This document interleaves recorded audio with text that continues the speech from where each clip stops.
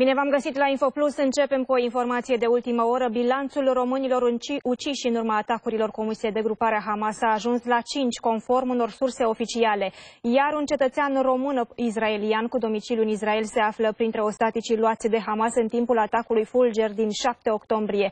Până acum el figura pe lista dispăruților. Ministerul Român de Externe confirmă că acesta se află în fâșia Gaza răpit de Hamas. Familia nu a cerut deocamdată sprijinul autorităților române.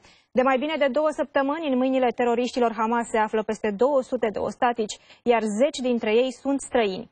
Despre situația captivilor și a celor care au fost uciși, mă refer la români, vorbim acum cu domnul Radu Fili, purtător de cuvânt al Ministerului de Externe. Bună ziua și vă mulțumesc pentru această intervenție telefonică.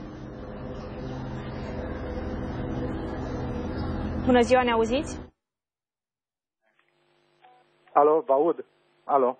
Bun, vă auzim și noi acum. Aș vrea să ne confirmați că bilanțul uh, românilor uciși în urma atacurilor Hamas a ajuns la 5 în acest moment. Ce informații ați primit de la guvernul israelian?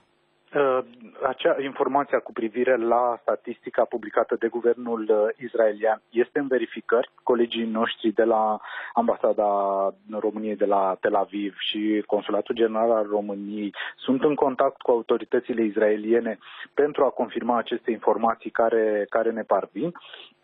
Ceea ce vă pot uh, confirma la momentul acesta este faptul că uh, Până, din păcate, de la atacurile din 6 spre 7 octombrie și până în prezent, patru cetățeni cu dublă cetățenie israeliano-română uh, au fost confirmați ca decedați și uh, alte două persoane ca fiind uh, dispărute tot cu dublă cetățenie, israeliano-română, cu domiciliu în Israel.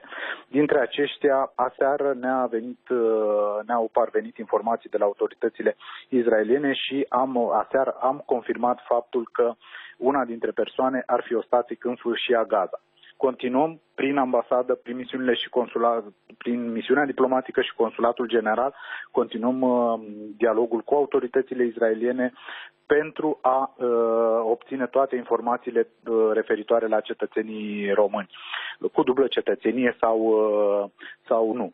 Uh, de asemenea, trebuie să spun faptul că până în prezent nu uh, oficiile noastre, oficiul consular și ambasada noastră în, uh, în Israel nu au, uh, nu au recepționat solicitări de sprijin consular din, uh, din partea altor uh, uh cetățeni uh, români uh, sau în uh, elemente privind dispariția sau decesul altor cetățeni români în statul Israel și de asemenea mențin contactul în permanență cu autoritățile israeliene. Ce informații aveți despre românii rămași captivi în fâșia Gaza? Uh, din păcate, așa cum ați văzut uh, și dumneavoastră, punctul de, de frontieră de la Rafa dintre fâșia Gaza și Republica Arabă Egipt a fost deschis uh, în cursul zilei de ieri pentru a permite doar accesul camioanelor cu ce transportă ajutoare umanitare. Este vorba de ajutoarele umanitare furnizate de către Organizația Națiunilor Unite, anunțate vineri, dacă nu mă înșel, de către uh, secretarul general al organizației Antonio Gutierrez. Uh, celula de criză a Ministerului Afacerilor Externe menține în continuare coordonarea cu alte state, cu organizații internaționale care întreprind demersuri asemănătoare pentru proprii cetățeni sau pentru proprii funcționari, prin intermediul misiunilor noastre diplomatice de la Cairo, Tel Aviv, continuăm dialogul cu autoritățile israeliene și egiptene în vederea asigurării condițiilor necesare pentru evacuarea cetățenilor români aflați în, în fâșia Gaza care ne-au solicitat uh, evacuare.